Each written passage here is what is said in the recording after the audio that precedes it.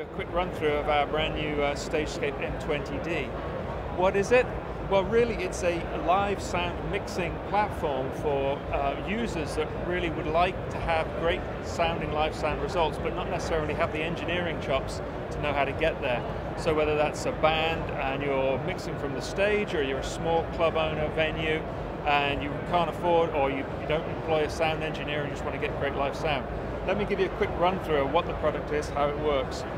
Um, here's the um, hardware device. We've got our I.O. complement in the back, 12 mic line pre's, four extra mic lines, four aux out, um, analog um, uh, stereo bus out. We've got our own Line 6 uh, protocol here if you're using our speakers for our digital network. SD card, uh, USB port, and a few other bits and bobs. Here's our control surface, which is a, a resistive touchscreen. Uh, four control buttons, 12 encoders, master level here. Best thing to do is actually give you some idea of how it works. Um, we've got auto sensing inputs, so they sense whether it's a line or a mic input. So we'll take a dynamic mic, pop that in one of the inputs, and here in the middle of our stage view, you'll see a dynamic microphone icon. And this is a nominal dynamic microphone channel strip that's being set up under the hood.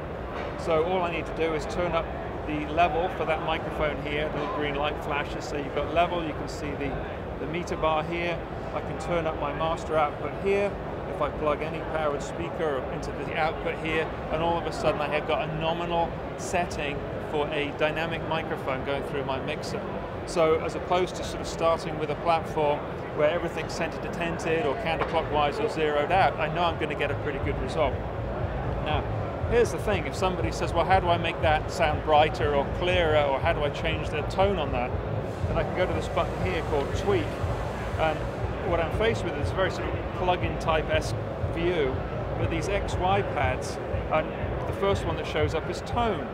Um, this XY pad controls a parametric equalizer under the hood, so I, basically I get my talent to talk into the microphone, I move towards the word bright or wherever here and using my ears like every sound engineer does, they actually get it to a point where it sounds good, but without having to translate boom or bright or clarity into numeric control on an EQ strip uh, we've got punch, or say I want to add reverb. I've got four global effects channels here. All I need to do is dial in the amount of reverb. I don't have to worry about sending, instantiating an effect, what that effect is. Ready to go, I have reverb, or a doubler, or analog delay. I can change those presets very easily, or I can tweak those presets in a simple view here, just move towards space, for example. Um, so essentially I go back here and I, let me just build a rudimentary band typical four-piece band here that's going up. So each of these icons now, underneath each of those icons, there's this virtual channel strip that's been set up and it's ready to, for me to plug in uh, where it indicates here, channels two through six. Or I could just plug things in and swap the icons.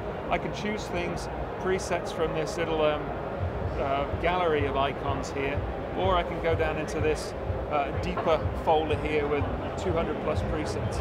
What's really cool is new for the show is our 1.2 firmware release. We've got Brad Madix, who's front of house engineer for Rush.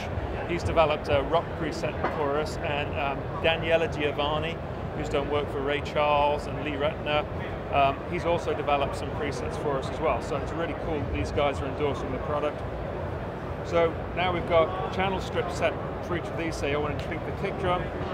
Here I now I've got a sub boost, um, sub bass patch here then you may be saying, well, that's all very well, but how do I dive a little bit deeper if I really want to get a bit more discreet and tweak it? Well, if I hit the icon and go into tweak, I can go into this deep tweak mode here, then all the things that you'd be familiar with on any other digital console show up.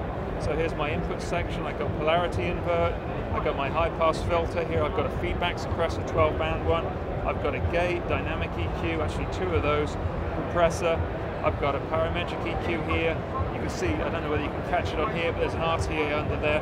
And I can control things numerically here as well. If I really want to discretely control the center frequency, of um, the, the, the, the, gain on that, or the center frequency on um, this guy here, I can do that here numerically. And going into global effects now, I've got a, a, return level and a send level. If I go into tweak, something like that, I can set the tail, I can set the pre-delay. We've got a low pass filter. So that's sort of setting stuff up and showing you it goes pretty deep. It's got everything under the hood, huge amount of DSP per channel. Um, monitoring's pretty straightforward as well. If I just plug, I'm just going to fake this, they say I've got a powered monitor here. Um, I can plug one of those things in, it's sensing as well, it says I've got a monitor on the output, or I could just stick a monitor on the stage here and then plug it in later. Um, but monitor mixing, you know, challenging for somebody who has not experienced it. Monitor mixing, I just go to this monitor button here, I target the monitor that I want to mix to, and I just change the level. Done, I want to mix to this monitor here. Very, very straightforward as far as, um, if you weren't familiar with monitor mixing, or actually just want to make a monitor mix very quickly, this little button here is either pre or post fader, so you can have pre if you wanted to get a monitor mix really, really quickly. It will, uh, it will be um, post fader, which is the green button there, so um, you'll be able to get that happening pretty quick. Uh, recording, I can record all 18 analog inputs plus the main stereo bus onto an SD card here, 24-bit 48K WAV files, individual WAV files. So I can take that, put it into a DAW later on, I can mix my live show, mix my rehearsal. Um, there's also recording here, um, the, uh, there's quick capture, so there's 20 seconds of um, uh, memory internally, so I could capture performance, I could loop it, we could get the band, everybody to go out front, we could do a virtual sound check, uh, very, very convenient. Um, and then I can go into perform mode here, locks everything down on the stage. I can have discrete level control, I can control the outputs on my monitors, I can mute, I can go here and say actually I want to adjust all the pans, or I want to trim the inputs. All the input trims, by the way, are all nominally set, but we have an auto trim setting here that I can instantiate this and all the open mics, I can hit these things, I can get the band to play and I'll optimize the input trim settings. Uh, I'm not going to do that right now. Also, the uh, uh, latest release for the show right now is um, uh, 1.2. One of the big things here is that um, we have uh, control here, icon based for the stage view, but uh, a different way of a different workflow. You might be more familiar, or you might actually like the control or the feel of the faders. One of the really, really cool things about this is that you can sort of mix your monitor mix now on the fader banks. Uh, you can mix your output levels, you can mix the outputs, whether it's monitor output or main output. Um, something that I didn't tell you here is we can go to tweak, we can tweak the main output bus as well. So we've got high pass parametric limiter on the output bus as well. Um, pretty powerful tool. All the setups can be saved. You can recall them. You can set up save scenes on different setups that you can control with a foot switch instant, instantly. Um, so for say a school performance or a band rehearsal, then you can just sort of scroll through those different setups. Um, one of the big deals as well is with a Wi-Fi USB hub. Then we have an iPad app that replicates exactly what's going on the screen. One of the cool things about that, that if you go into this perform mode here, you can have the stage view on the device and then you can have the fader view on the iPad if you like. Um, and then we've got this button on the iPad app, follow stage, so whatever you have set on the stage, then it will follow it on the iPad app as far as the faders. So if you set groups up, set a quick group up here, We've got this group, a drum group here.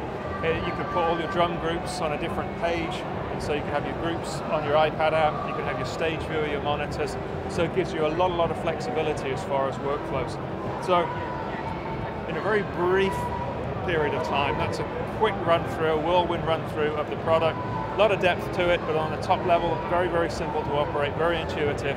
Um, that's StageScape M20D from Line 6. Thanks very much.